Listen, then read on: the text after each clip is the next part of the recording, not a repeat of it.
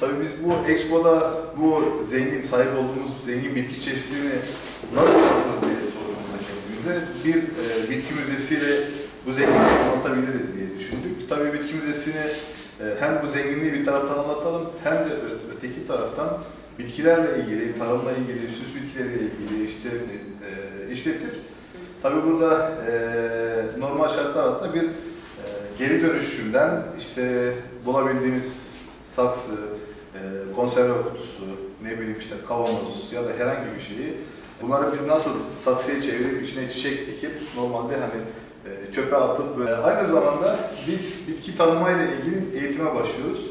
E, bitkileri tanımak neden önemli? E, şimdi bitkiler hayatın her aşamasında var. Fakat çoğu zaman e, siz eğer bitkileri doğru teşhis etmezseniz onları aslında kullandığınız zaman da yanlış kullanmış olur. E, Örneğin bir bitkiye 50 tane farklı isim vermiş olabiliyorlar. E, Bir bitkiye bu kadar isim varken bazen de farklı birçok bitkiye aynı isim veriliyor. Birkaç tane küçük püf noktası onları öğrenirseniz eğer o zaman bitkiyi karıştırmazsınız. İsimlendirilmesi, e, taksonomi yani bitkileri e, sınıflandırmak ve bunları birbirinden ayırmak çok önemli bir mevzu. ilgili de bir eğitimimiz var. Şimdi iki grup birden burada toplandı. Bu yapacak etkinlikte olacak arkadaşlar burada kalacaklar.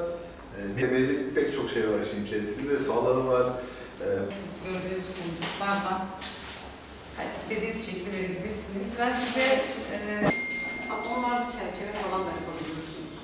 Beyaz ya. Sorun kafamda.